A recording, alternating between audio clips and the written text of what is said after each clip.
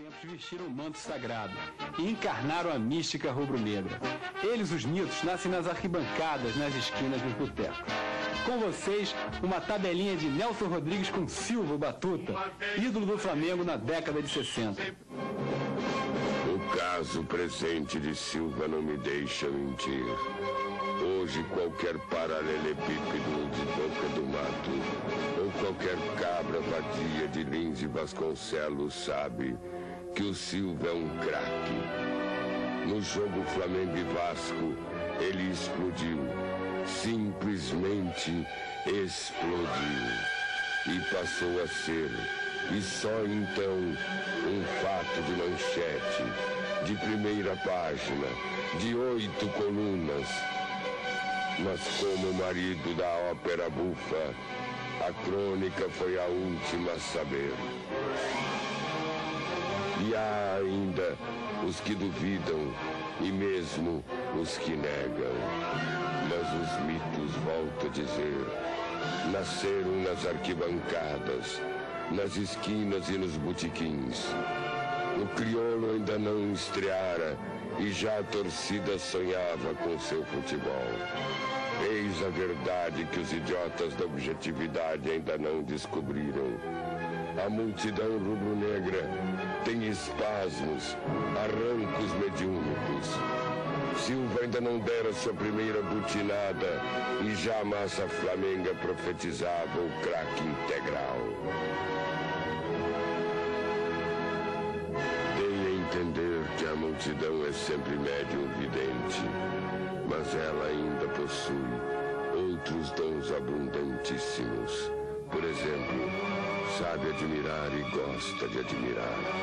Ao passo que, na maioria dos casos, o cronista é um impotente da admiração. É como compreender sem admirar. Só tarde, muito tarde, é que descobrimos Silva. Mas justiça se lhe faça. Foi o povo que criou o mito e o impôs à crônica.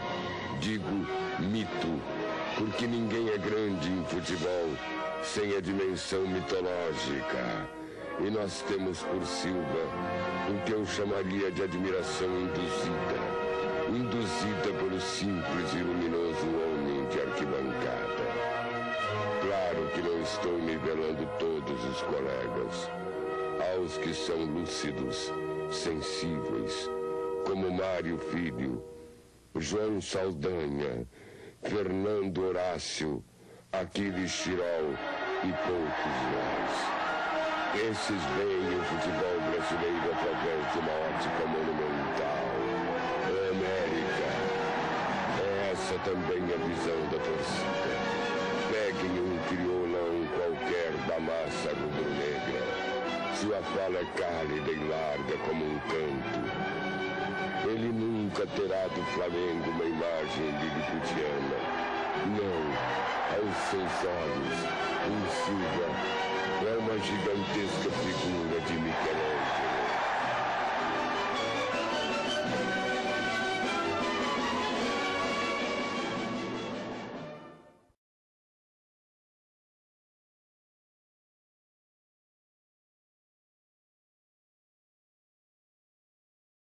Uma porção de gols bem tramados. Ele fibra, ele é muita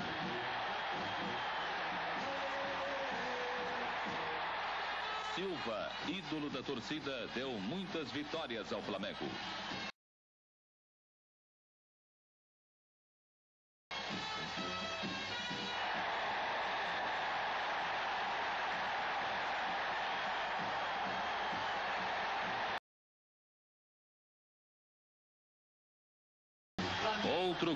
Grande campeão contra seu tradicional adversário, o Vasco.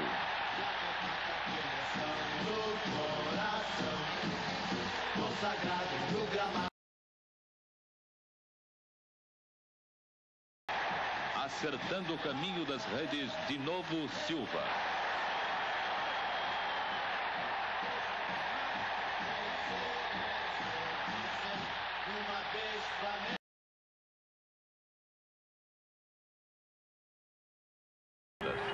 Torcida rubro-negra iria assistir uma exibição de gala nos primeiros 45 minutos.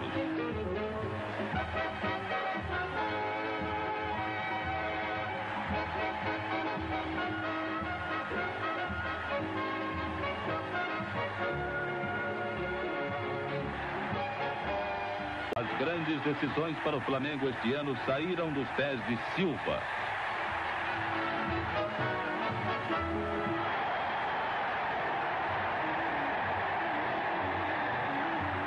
O 2 a 1 do placar não refletia exatamente a nítida superioridade do time da Gávea.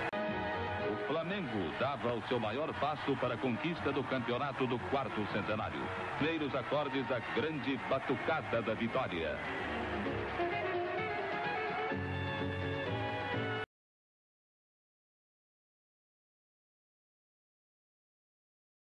Campeão de 400 anos que surgiu após 10 vitórias, dois empates, duas derrotas e uma porção de gols bem tramados. Ele fibra, ele é fibra, muita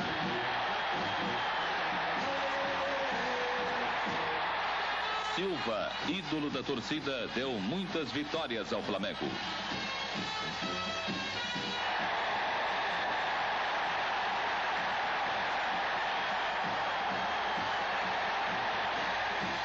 Houve momentos difíceis, como na partida contra o América, quando depois de inferiorizado no marcador, o Flamengo soube reagir. sempre Flamengo.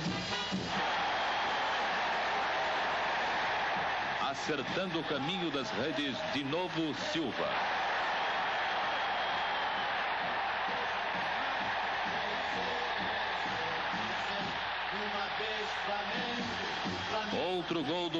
Campeão contra seu tradicional adversário, o Vasco.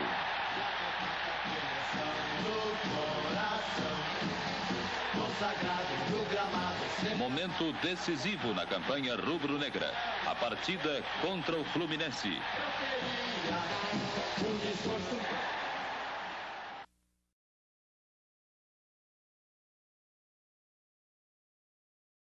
Foi em 65 que os jogadores do Flamengo viram chegar na sede do clube na Gávea um Almir com 27 anos de idade, já de cabelos ralos e com o corpo e a mente marcados por tantas lutas que ele enfrentou dentro dos campos. Seu futebol havia perdido um pouco do encanto pelo gol e por isso colocou a habilidade de seus pés a serviço do amigo Silva. Eu já conheci o Amigo de São Paulo. Eu contava no Corinthians, Amigo estava no Santos. Né? Mas a aproximação maior foi realmente no Rio de Janeiro, através do Flamengo, realmente. Que nós jogamos juntos, convivemos bastante tempo juntos.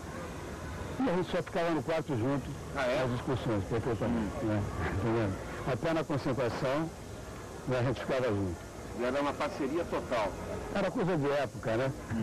As, as- as duplas de, de, de, de, cada caminho assim, é, de pão e digamos, né? Eu ficava eu e o amigo, que era a dupla de ponta de lança. O amigo era um jogador quase que completo, se não completo. Né? Que até então, o amigo quando saiu do Vasco, foi pro Corinthians, a gente vai lembrando as coisas assim, o amigo foi para São Paulo com o Pelé branco na época, né? Então você vê que era um cara realmente jogador fora de série. Né? O amigo foi titular do, do Lula, do, do, do Boca, do Santos, do Flamengo, do Vasco. Enfim, ele era um cara que ele tinha assim, uma facilidade né, de cair para as laterais, ou seja, para, para as extremas do campo. Ele sabia recuar bem para fazer o terceiro homem. Ele jogava bem enfiado, enfim, né? Embora ele não tinha uma estatura muito alta, né? mas ele tinha uma facilidade, uma proteção de bola. Ele tinha muita base. Né? O amigo era uma, uma pessoa assim de, que eu joguei junto com ele, ele me facilitou, inclusive eu até falava que eu- os gols que eu fazia era que ele me dava todo ele.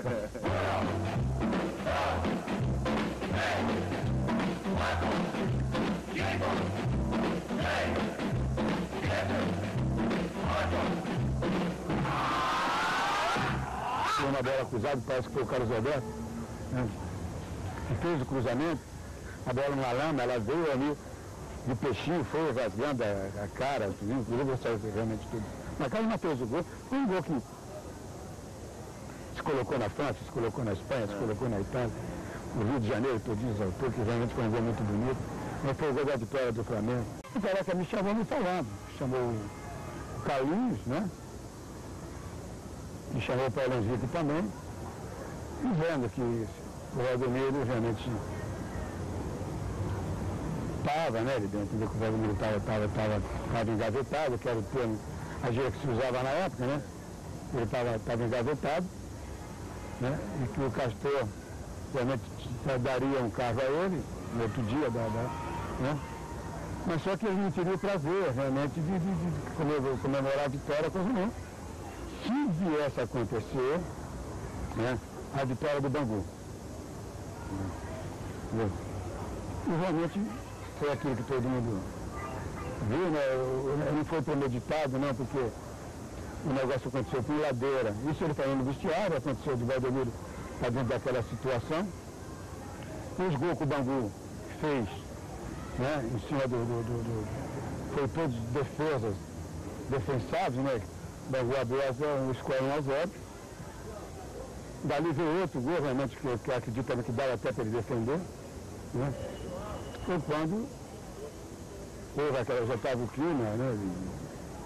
A gente, o Bangu virou o jogo 2 a 0 né?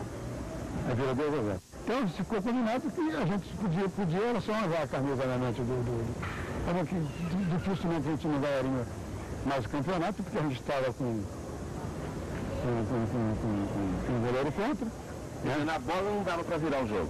Seria difícil, seria, seria difícil porque a gente estava praticamente com, com oito jogadores, né? Sempre Mas é, tinha ainda, não, não teve a participação do Sansão, porque ele precisou atuar porque tava, ficou legal para ele, o trabalho dele ficou. Né? Foi quando começou a acontecer né, as provocações dentro do, do ladeira com o que foi quando originou aquela confusão todinha no segundo tempo. Todo mundo realmente né, brigou, se tentou pegar. Nós estávamos fazendo um Fla-Flu. É. O jogo estava difícil pra caramba pro Flamengo. Então estava o Flávio já na época com o Fluminense. E o Oliveira, então o Oliveira vai fazer aquelas cavadinhas e tal assim, poxa, se o Oliveira começar fazendo todas essas cavadinhas, o Flávio meter, meter um montão de gol lá, nós vamos perder o jogo. Então simplesmente lá, tirou para o Oliveira do jogo nós ganhamos o Flávio de 2 agora. É assim que ele saiu do Flamengo, ele não queria sair do Flamengo para ir para o América. Né? E ele foi, né? E por incrível, por incrível que pareça, o primeiro jogo do, do, do, do Campeonato Carioca foi Flamengo e América. Né? E por incrível que pareça, ele fez o gol do América. Nós, tá nós, fizemos, nós fizemos o gol, eu fiz o gol, me lembro bem, 1 a 0. O Flamengo estava comemorando no, no campo do, do, do, do, América. O hábito deu a saída, né? No jogador do Flamengo no campo do América. E o Ami fez o gol do, o gol, de, o empate. Ele fez porque tinha que fazer mesmo. Mas ele chorou, entendeu? Isso é uma coisa que pouca gente sabe.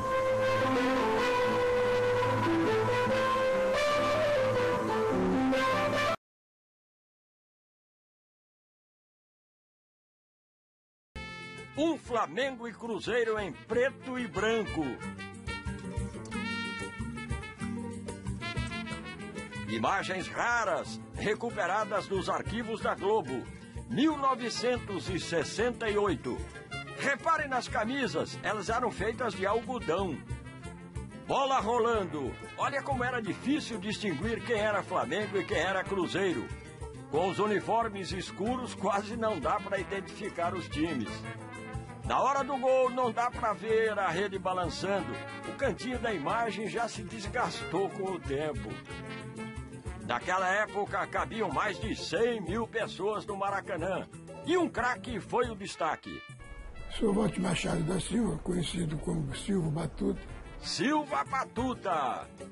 Ele reestreava com a camisa 10 do Flamengo depois de passar pelo Barcelona e pelo Santos. O Cruzeiro, tricampeão estadual, era um timaço que já tinha sido campeão nacional. Destaque ali foram os tornamentos, mas o time que estava com moral, jogava certinho. O Flamengo, que hoje é ex-campeão, ainda não tinha nenhum título brasileiro, mas impunha respeito. O amistoso terminou 5 a 1 para o Flamengo. Silva Batuta fez um gol de falta e marcou um de canhota.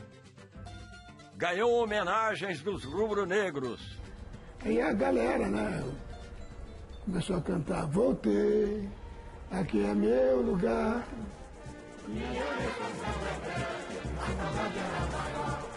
Voltei para ficar. Isso até emociona demais. Os cariocas voltam a vibrar com o futebol. No Maracanã, o novo Flamengo enfrenta o famoso Cruzeiro, tricampeão de Minas. Para a maior torcida do Brasil, esse devia ser o dia da reabilitação.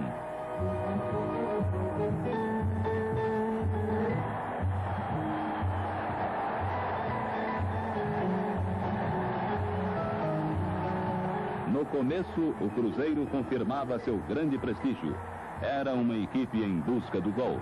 Mas a defesa do Fla atuava bem, impedindo o êxito mineiro.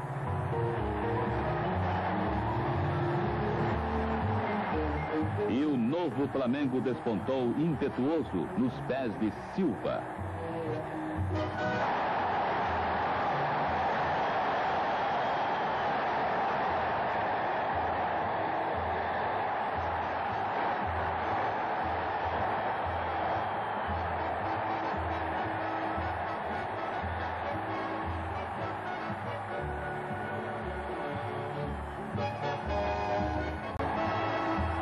O ídolo Silva voltava ao time da Gápia com todo fôlego e sede de vitória.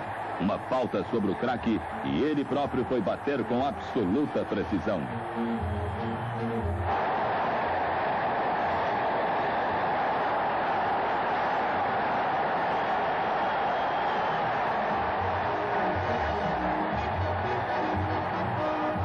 Três gols em 45 minutos em cima do Cruzeiro de Tostão era uma façanha reabilitadora. O Flamengo, com um time diferente e ânimo renovado, foi espetacular e mostrou que está no páreo em 68.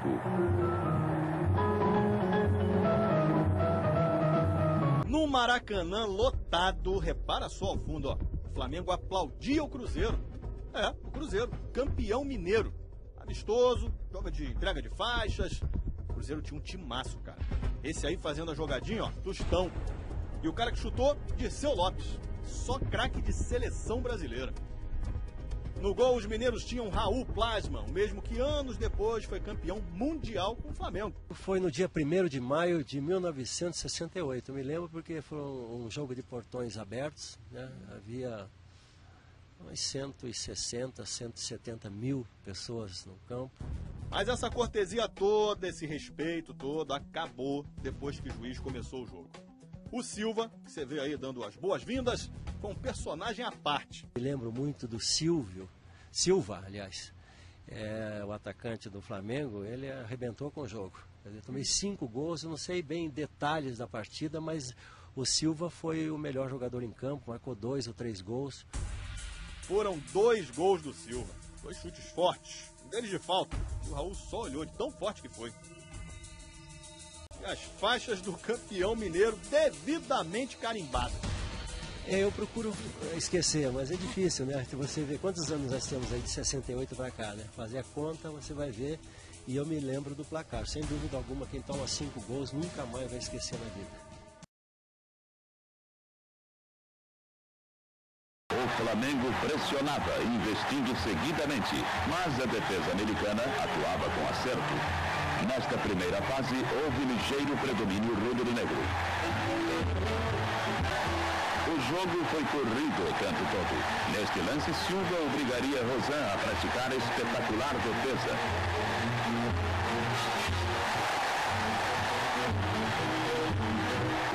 O score seria construído na fase final. O Flamengo marcaria primeiro através de Silva.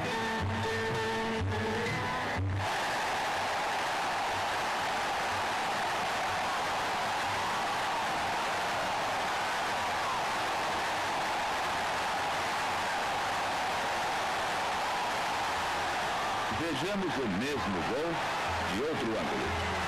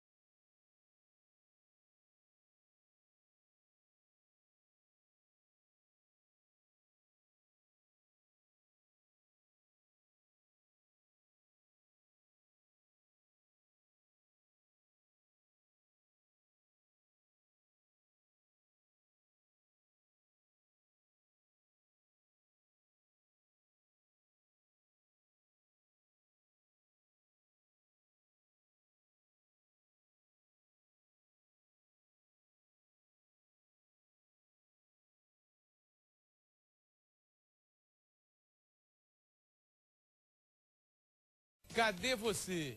Descobrimos por onde anda o ex-jogador do Flamengo Silva, o Batuta. Era uma espécie de Pelé do Flamengo na época. Fábio Azevedo. O Cadê Você de hoje está na Gávea.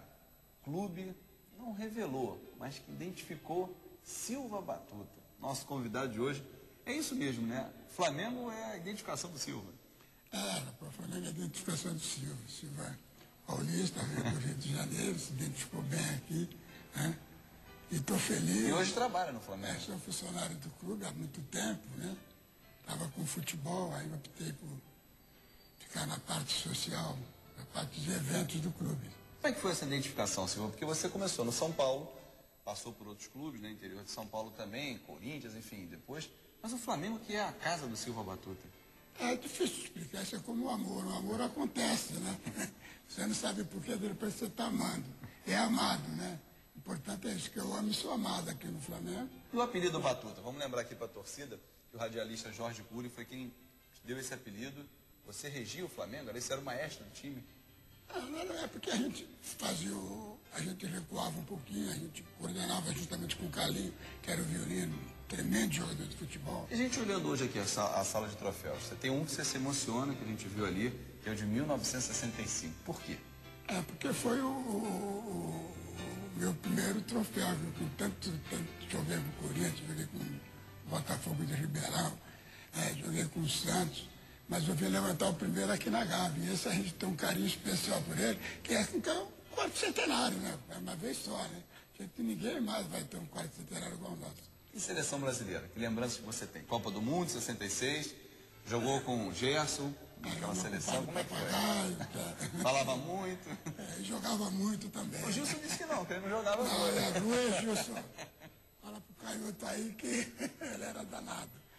É, uma era fera. E é meu amigo também, porque foi o Gerson, por incrível que pareça, que me deu, a, que me deu uma notícia, da, da, se não me engano, da minha filha do meu filho nascendo. Foi ele que? É, a gente estava nessa época, eu estava no Botafogo e ele me avisou. Como é que era o Maracanã lotado? Alguém tremeu assim? Você viu alguém do teu time? Hum, Maracanã lotado, não vou jogar hoje. Não, porque o que tinha de emocionante com o Maracanã nessa época era quando eles davam a escalação, cara, né? A, a leitura do nome. É, a cidade de fome. Então, a rapaziada... E como é que era o 10 do Flamengo? O que, é, falava ali? É porque eles vinham nominado de nome a nome, fulano, Flamengo, é, Almir, aquela, é, aquela emoção. A galera lá, E vocês ouviam lá embaixo? Ficava tudo lá na boca do Já estava na boca do é, Quando gritava o 10, Silva... Aí a galera ia loucura, a gente também... Obrigado. Parabéns, tudo de bom. Sucesso cada vez mais. Formando novas gerações. Se Deus quiser. Canhota, o Batuta jogava muito, hein? É, é, verdade, o Batuta jogava muito e, e, ele tem razão. Eu dei a notícia, né? É, ele estava no campo, eu dei a notícia a ele da, do nascimento do, do, da filha dele. Agora, é, ele jogou muito, não só aqui no Brasil, não. ele jogou no Barcelona. É ele arrebentou no Barcelona. Nós fizemos uma, um torneio na Venezuela, e ele pelo Barcelona, da ganhar do Barcelona foi uma luta. E ele era o melhor jogador do Barcelona nessa oportunidade. Ele jogou muito, tanto no, nos clubes aqui no Brasil, quanto lá no Barcelona. E ele é um parceiro, um amigão da melhor qualidade, gente da melhor qualidade.